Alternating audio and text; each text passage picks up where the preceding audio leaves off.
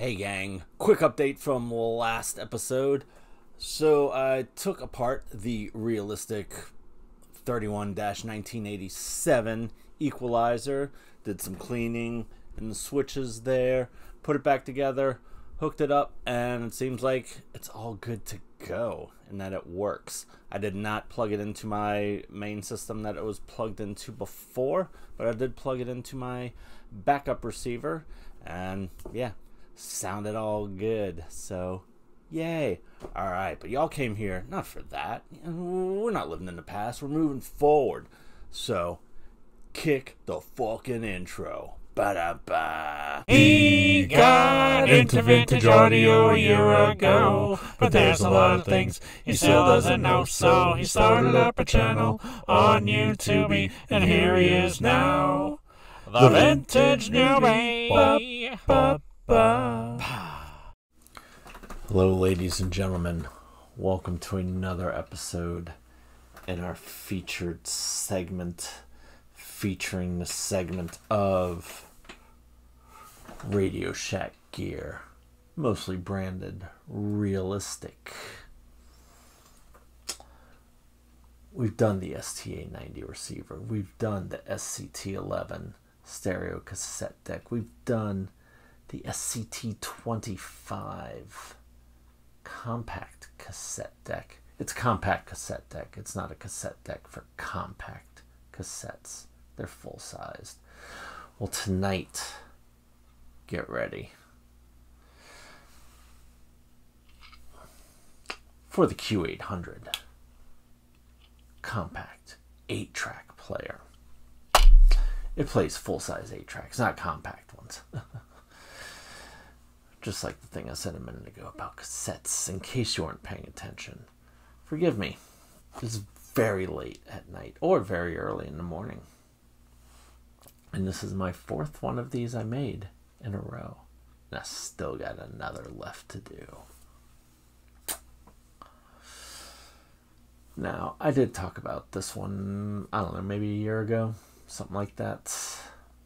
But I figure it's worth a revisit. K? K. Did I say K? I meant to say Q, as in the Q800. Four and two channel tape deck. It's an 8 track player. I picked it up at a vintage uh, thrift shop for the low, low price of $10. Um, yeah, it's pretty cool. It plays quadraphonic eight tracks, which were cassettes that had a little divot so you could recognize them as being quadraphonic. And it had something to do with four channel setup, speakers, um, kind of a surround sound type of deal. To know anything about it because I was like six months old when this thing came out, and it retailed for a hundred bucks. What? Um, I have not looked up what these are going for on eBay currently. But hold on.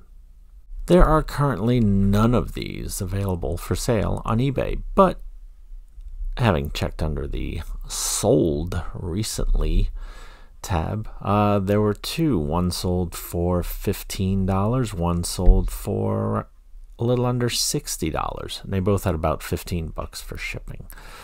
So you can pick up one of these for apparently anywhere between $10 and I don't know, about 90.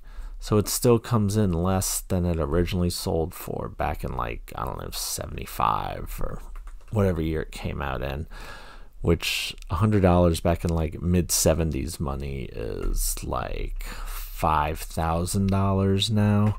Um, no, it's like three hundred, I think, which is insane for one of these.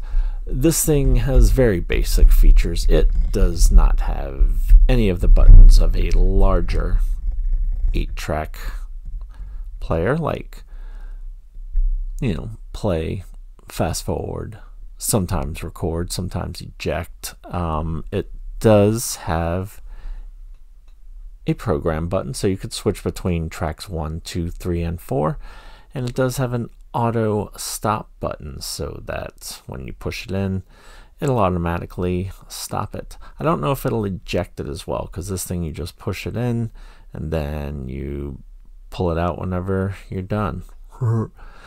um so there is no eject button. So I don't know if it just retracts the head or if it I guess it probably would just retract the head and just stop it in its tracks since there is no eject function.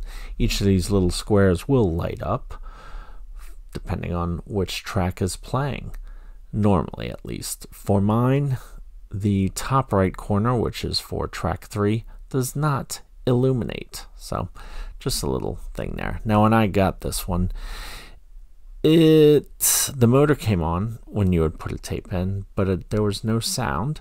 So I changed the belt and all is working well now. Um, it does play a little bit slower than the two other 8 track players that I have. Now, I know with cassette decks, when you take them apart, you can put a screwdriver into the back of the motor and adjust the pitch. I haven't seen if there's that ability on this, but I guess I'll open it up and check it out. And if I can, I'll put that in the comments below. So check the comments down below. Okay? Okay. All right, that is it for the Q800 8 track player from Realistic. Wow, I actually didn't ramble too much there. This video is dangerously close to being not overextended and long winded.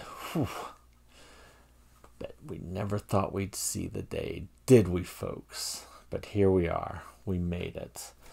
So I guess we'll wrap this one up. If you haven't liked, shared, and subscribed, then turn off your phone, go outside, and lay down in the middle of a street until a big truck comes and then get out of the way of it. Okay, good. Yeah, no pressure to do any of that stuff here. Because this is the chill channel, man. This, this is the vintage newbie. This is the vintage groovy. So, you know, just whatever. Just chill, man. Two glasses, four glasses, six eyes, eight eyes. Doesn't matter. Ah, one more to go. Have a blessed day.